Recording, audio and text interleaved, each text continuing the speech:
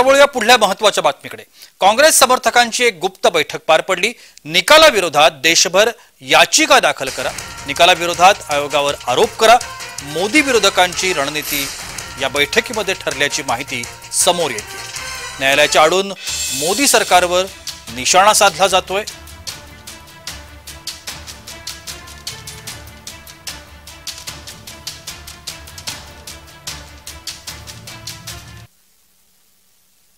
जय महाराष्ट्राचे संपादक प्रसाद काथे यांनी या संदर्भात विश्लेषण केलंय. आपण पाहूया. प्रसाद सर ही महत्त्वपूर्ण माहिती आपल्या हाती लागली आहे. ही बातमी आपल्या हाती लागली आणि ती म्हणजे रणनीती. उद्या निकाल आहे. आणि या निकालानंतर विरोधकांनी काय करायचंय हे ठरवलंय. असं म्हणायचं आपण की पराभव विरोधकांनी स्वीकारलाय?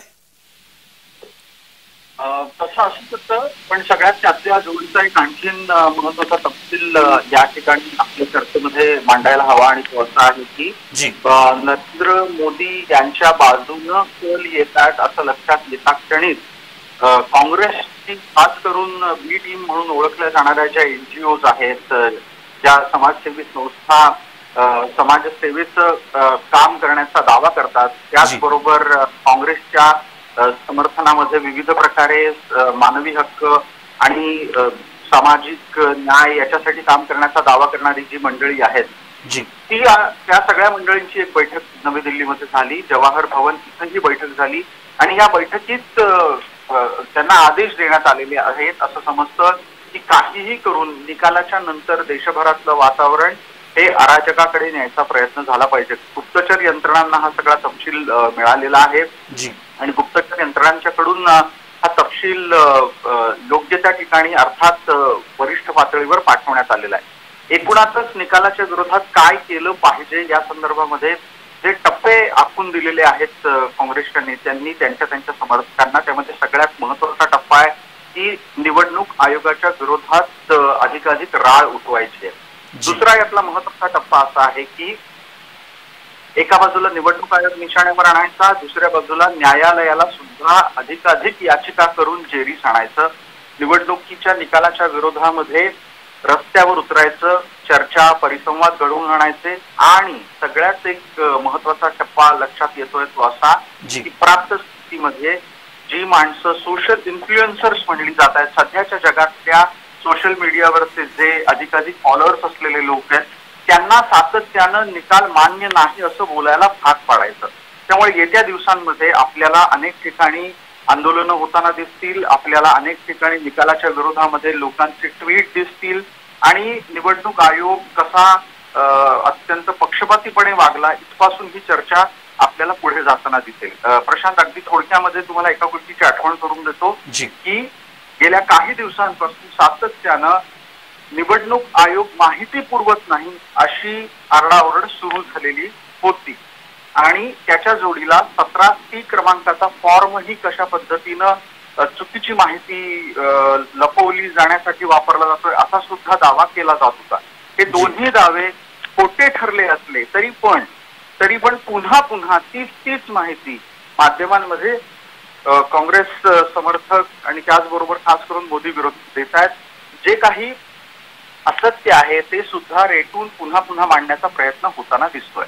दोन गोष्टी सर याच्यामध्ये की समजा अशा पद्धतीची रणनीती खरंच काँग्रेसने अंगीकारली तर मोदी विरोधकांना याचा फायदा होऊ शकतो का खरंच सत्यामध्ये?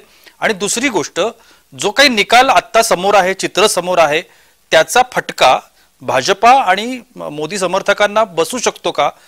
आपलं एकूणच आकलन या सगळ्यामधलं काय सांगतं? आताच्या स्थितीमध्ये ज्या वेगानं सध्याच्या घडीला एक्झिट पोलचे अंदाज येत आहेत ते अंदाज तरी असं दाखवत आहेत की प्राप्त स्थितीमध्ये देशात पुन्हा एकदा मुदत सरकार येत आहे. आणि ही शक्यता लक्षात घेऊनच काँग्रेसच्या माध्यमातून रचना केली गेलेली दिसते आहे. निकालाच्या नंतर सुद्धा. आपल्याला चर्चेत राहायचं असेल तर काय करायला हवं यासाठी काँग्रेसनं आपली जी काही पाळमुळं असलेली बी टीम म्हणून ओळखली जाणारी सामाजिक कार्यकर्त्यांची फौज आहे ती सक्रिय करायचं ठरवलंय. होळ्या पुढल्या बातमीकडे. निकालानंतर देशभरामध्ये अराजक पसरवण्याच्या हेतूनं प्रयत्न केला जाऊ शकतो अशी माहिती गुप्तचर यंत्रणांना मिळाली. खास करून काँग्रेस समर्थकांकडून हे प्रयत्न होतील असं देखील समजतंय. विश्वसनीय सूत्रांकडून जय महाराष्ट्राला मिळालेल्या माहितीनुसार निकालानंतरचा मोदी विरोधकांचा जो गेम प्लॅन आहे तो काय आहे तो आता आपण बघणार आहोत.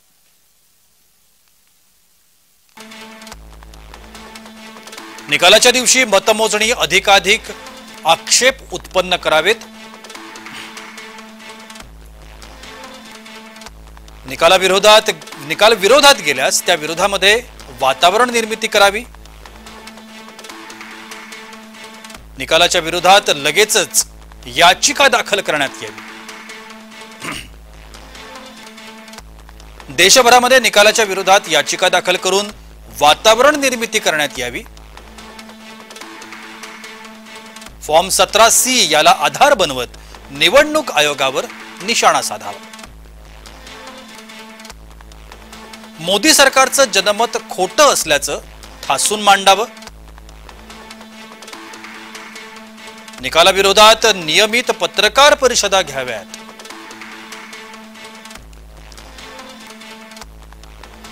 चर्चा परिसंवाद आंदोलन करून अराजक निर्माण करावं असंही या बैठकीत ठरल्याचं सांगण्यात येत आहे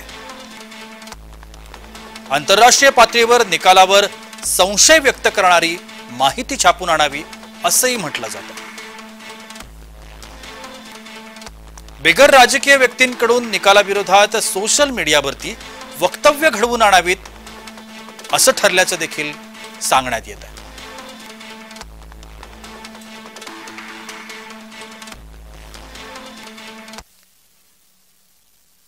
याच संदर्भामध्ये अधिकची माहिती देत आहेत आमचे प्रतिनिधी कुणाल भोईटे. पाहूया. निकालाआधीच काँग्रेस समर्थकांची एक बैठक दिल्लीला पार पडली असल्याची सूत्रांची माहिती मिळालेली आहे. काँग्रेसची बी टीम म्हणून समजल्या जाणाऱ्या सिव्हिल सोसायटी ऑर्गनायझेशन त्याचप्रमाणे एनजीओ यांच्यामध्ये ही बैठक जवाहर भवनला दिल्लीमध्ये पार पडली असल्याची सूत्रांची माहिती आहे. तर ज्याप्रमाणे एक्झिट पोलमध्ये भाजपची सरशी आहे असं ज्यावेळेस विरोधकांना समजल्यानंतर आता विरोधकांनी देखील एक पाऊल पुढे येत.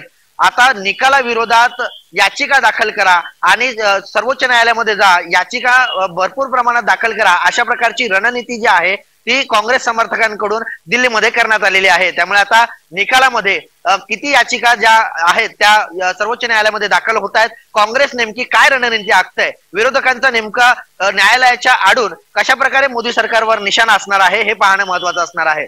कुणाल भोईटे जय महाराष्ट्र न्यूज ठाणे.